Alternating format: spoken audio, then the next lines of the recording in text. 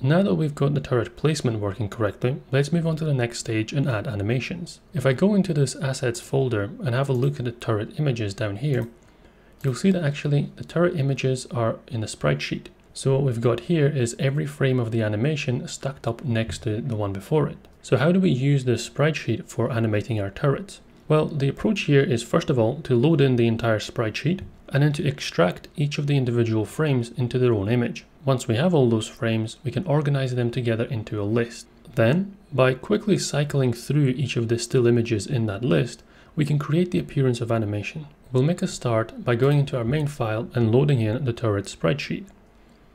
This is where I load in that individual turret for the cursor. But before I do that, I will add another little comment to say turret sprite sheets. And for now, we're just going to load in one, even though you might have noticed that there's four different turret sprite sheets in here. We'll say turret underscore sheet is equal to, and then I'm just going to copy the code from below that we use for loading in the other turret. The only change here is to remove this section at the start and then call it turret underscore one. Now, when we create an instance of the turret, instead of passing in the individual image, we can pass in that sprite sheet. So we go down to this create turret function, and down here is where we create an instance of the turret. So I'll replace that first argument, and now it's going to become turret underscore sheet. Now we can go into the turret class and update it to receive this sprite sheet instead of the image. So this changes to sprite underscore sheet. And I'm also going to expand this section a little bit, so I'm going to organize them first of all. I'll add a space here and a comment to say position variables. And then I'm going to break out the image and the rectangle below because now we're going to be changing the image dynamically. I'll have a section here that says animation variables. And the first one is to save that sprite sheet into a self variable. So we'll say that self.spritesheet is equal to sprite sheet. Next, we will create this animation list. So we'll create a variable called animation underscore list. And this is where we're going to extract each individual frame from the sprite sheet and store it inside this list. So I'll create it as an empty list for now. And to be able to extract the individual images from the sprite sheet, I'm going to create an additional method. We'll call this method load underscore images, and it doesn't need to take any arguments except for self. I will add a comment to explain what this method does, which is to extract images from sprite sheet. To be able to pick these images out of that sheet, we first of all need to know how big each of the images is. If we go back to the picture again, the way these sprite sheets are typically laid out is that each frame is in a perfect square, which means that if we know the height of the sprite sheet, we also know how wide each of the squares is going to be. That means that first of all, we need to work out the height of this image we go back into our load images method and we'll define a variable called size. We'll take that sprite sheet image, which will be self.spritesheet, and we will use the get underscore height method. Next, we will create a temporary animation list inside here. So we'll set this to an empty list as well. Now we can start iterating through each of the frames in that sprite sheet. I'll say for x in range, and this is where I need to know how many frames this sprite sheet actually has. If we go back to the image, we can see that it's got 8 frames. And I'm actually going to save that variable inside our constants file. I'll come down here and add another section to say turret constants. And the one we want for now is animation underscore steps, and this is equal to 8. Next, we go back into the turret class, and in this range, we will pass in c.animation steps. With each iteration of this for loop, we want to extract one of those frames. We'll save it in a variable called temp underscore img, and this will be taken from self dot self.spritesheet using the subsurface method. You can think of this subsurface as a small square that we can use to extract a section of the image. So the first two arguments are going to be the coordinate of the square, where it begins, so the top left coordinate. Well, the x coordinate is going to be changing because we move along to the right each frame. So we'll say x multiplied by size, and the y coordinate is always going to be zero because we start at the top of the image. And then we need to define a width and height of this subsurface. Well, the width and height of each frame is going to be this size variable because it's going to be a square. I can pass size for both of those variables. And lastly, once I've extracted this temporary image, I can append it into our temporary animation list. So I'll say append temp underscore image.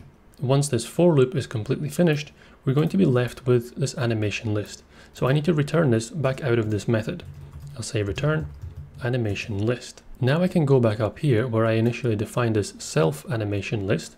And instead of creating it as just an empty list, I can actually call that method now. So I can say that it's equal to self.load underscore images. Now instead of an image for this turret, we've got a list of images. So when this turret is first created, how do we know what we should display? Well, the first image in this sprite sheet is the idle image. So it's kind of the way the turret begins. The rest of them are the shooting animation.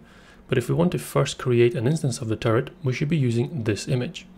And that image is going to be at index 0 in our list.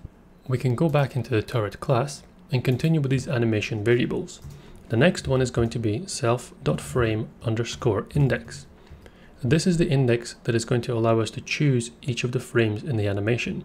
So to begin with, it's going to be 0. We begin with the very first image in that list. Now we can update this self.image section because we no longer have an individual image to assign this to. We have to go into our animation list and from there we need to access the index of self.frame index. And the next two lines will stay the same. So this section I will add a comment to and this will be the update image section. Now we should be able to test this and see if we can place these turrets. So I can place the turrets just as I did before, but the difference now is that we're placing them using the sprite sheet and it's still giving us that first still image. Now we can have a look at how to animate the turret. We'll need to define a new constant variable here. And this one is going to be animation underscore delay and I'll set this to 15 milliseconds. This variable is going to control the time in between each of the frames. So the longer the time, the slower the animation will go. This also means that we need to know when the turret was first created so that we know when the animation timer starts. We go down to this animation variables bit and I add another variable called self.update underscore time. And for this we'll say pg.time.get underscore ticks. This basically just takes a timestamp at the moment that this turret is created. And since this is a turret class, every turret will have its own timestamp. Now we can use these variables to play the actual animation. We'll go down here and define a new method. We'll say def play underscore animation. And it doesn't need any arguments, so we just pass self. To start with in the animation, we want to make sure that we update the image to the latest one. So I'm going to add a comment to say update image. And the code here is going to be the same as what I do when I first assign the image. So I can just copy that down here. Then we need to know if enough time has passed since the last frame was changed. So we'll add a comment here, check if enough time has passed since the last update. We'll take the current time by saying fpg.time.getTicks, so just what we did a second ago, and then we subtract our last update time. So the first time this runs, it's actually going to be the initial creation of the turret.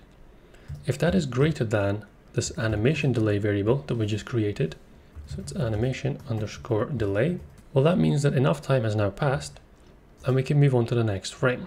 First we will change this variable update time so that we can reset the counter. So pg.time.get underscore ticks. And next we increase that frame index. So we'll increase this by one, and this will allow it to move on to the next frame in that list. We can now put this inside an update method. So I'll create another method here called update, pass the argument of self, and I will just call self.play animation. And to call this method, we go back into the main loop and we'll look for the section where I've divided it into update and draw. And in this update section, just after I update the enemy groups, I will update the turret groups. So I'll say turret group.update. We can now run this and place down one turret. Now we get an error straight away. The error was intentional, but it happened a little bit too quickly.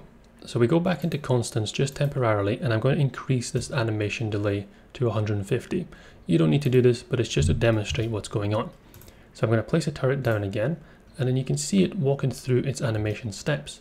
So it does go frame by frame in slow motion, and then we get this error at the end. So if we track this error and we go back into the turret class, it's running from this play animation method, and it's actually triggering here. The error itself says that the list index is out of range. Well, that actually makes sense because every time we move through this animation, we update the frame index by one.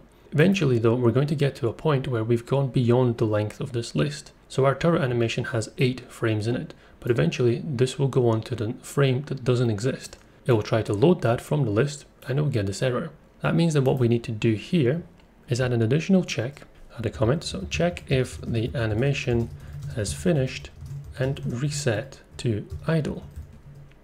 We'll say if self.frameIndex, that variable that has just increased by one, if that variable is greater than or equal to the length of that animation list, well, then that means that we've come to the end of the animation. So we need to reset back to zero. I'll say self frame index is equal to zero. If we go back and run this again, and I place down a turret, it runs through its animation and then it just repeats. So it goes over and over again. So we've now fixed that error and the turret is now in a loop. It's going very slowly though. So I'm going to go back to the constant and set this back to 15 as it should be. And if I run it again, it's going to shoot a lot faster. So that's more of a machine gun, but you can see it's running through the animation very quickly. The next thing I like to do is add a little bit of a cooldown, because we don't want this turret just firing constantly like this. The game would be far too easy. We go back into the turret class, and right at the beginning, we'll create a couple more variables. The first one will be self.cooldown, and I'm going to manually enter this for now as 1500 as the game develops, we will call this in from somewhere else because it will depend on the type of turret, but for now I'll just define it manually in here. And then I also need to know the time of the last shot that was fired. So again, I'm just going to use pg.time.get underscore ticks. Now we go into the update method, and this section or this logic is actually going to be very similar to how we handle the animation. We'll say search for new target once turret has cooled down and I just add another timer check. So I'll take the current time, so pg time dot get underscore ticks. If that minus self dot last shot, so the last time we fired, is greater than or cooldown, then that means that the turret has cooled down and it's ready to fire again. So we play that animation. But when the animation is fully finished, we need to record that that's finished and we now need to start the cooldown. The animation is complete in this section here, this if statement we can just expand it a little bit to say record completed time and clear target so cooldown can begin. We'll say self.lastShot is equal to pg.time.get underscore ticks. If we run this again, we should now be able to place down a turret, it will fire, and then it will cool down and it will fire again. And notice that if I place a few different turrets, the time that I place them at is going to be different for each one, so they all fire at different intervals.